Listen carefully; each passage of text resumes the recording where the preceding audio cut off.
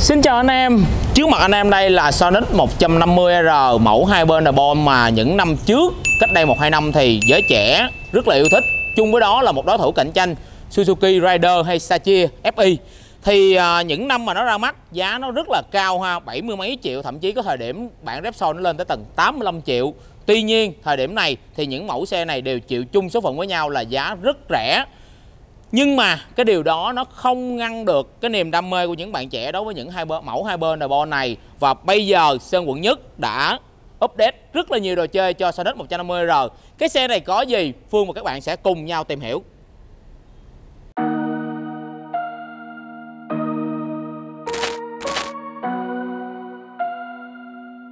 I'm trying to touch the states this time. 2021. Gotta show him I can still rap though.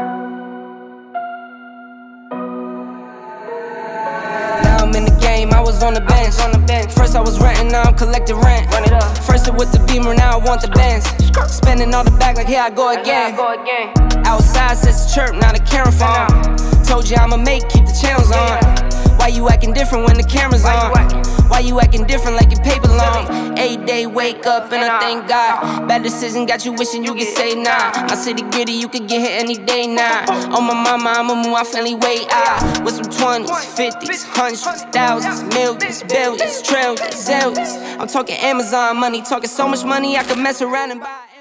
Việc những cái mẫu hai bên carbon sẽ cho cái dàn ghi đông nó không dướng bất kỳ chi tiết nhựa nào cho nên các bạn thoải mái gắn những cái tay thắng tay côn đồ chơi mà không sợ phải khoét nhựa ha. Xấu. Thì à, ở đây thì anh chủ anh có update một cái uh, tay thắng Rambo Kosakota Piston 15 và một cái bình dầu. Mẫu này là mẫu Vanter Moto các bạn ha nhưng mà đây là một cái bình dầu đồ chơi bình thường thôi không phải là hàng chính hãng rồi việc gắn những cái ờ, chi tiết cùm thắng nó sẽ không còn đủ khoảng không để các bạn có thể gắn cùm zin nữa cho nên chủ xe sẽ gắn một cái cùm domino on off đề máy.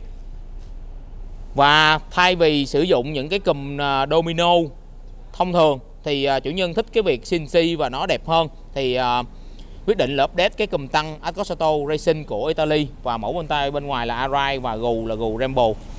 Rồi về cái bên trái thì uh, tất nhiên là bên phải gắn tay đồ chơi thì bên trái không thể để nào tay zin được rồi. Cho nên là mình sẽ gắn một cái tay TWM ha mẫu này thì thiết kế phong cách của Italy. Đó và bên cầm trái thì mình vẫn giữ lại cái cầm zin bao tay thì mình đã nói như bên phải rồi. Cái chi tiết của trên con xe này á, là cái dàn ghi đông của nó hầu như là đều gắn chi tiết à, ốc titan hết. Và cả những ba con ốc chụp ghi đông cũng như là hai con ốc à, trên cái đồng hồ đều là titan ở giữa thì uh, cái xe này có lẽ là nó sẽ có một chút nội không nên là chủ nhân quyết định là ốp một cây phục à, một cây trợ lực XS đây từ Thái Lan. Và bát thì cặp vào trong cái ti phục trước. Rồi có bát còn lại thì chúng ta sẽ bắt vào trong cái ống sườn. Xoay hành trình. Rồi bên mình thực hiện cái gì cho cái dàn chân con xe này? Đi đến đằng trước thì chúng ta sẽ có cái dàn chân rất là chất lượng mâm Daytona của Nhật Bản. Và mâm Daytona này thì sẽ có hai phiên bản là dành cho xe Honda và xe Yamaha. Cái lượng mà ờ, mâm Daytona Suzuki nó sẽ rất ít trên thị trường các bạn. Thời điểm này thì hầu như là Phương không thấy nữa. Rồi, thì ờ, chủ nhân yêu cầu là một con heo Rambo đúc 4 bit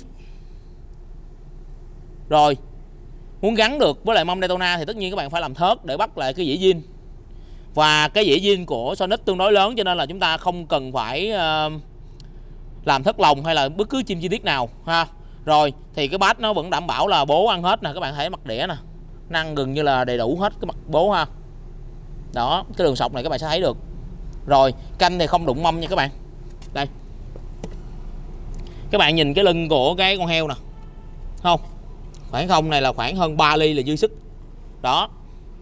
Rồi bên mình thực hiện con này là hơn 3 ngày bởi vì uh, mấy cái số lượng mà đồ CNC con này cũng tương đối nhiều. Cái bát sau thì uh, chủ nhân không gắn cái uh, ben đạp Rambo bình dầu rời mà sẽ gắn uh, ben, ben đạp Rambo bình dầu liền.